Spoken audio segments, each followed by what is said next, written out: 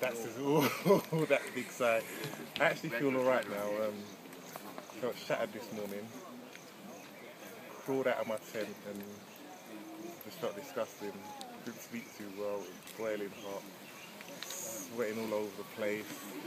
Noisy. Just all kinds of critters and animals and birds through the night. But now I'm up.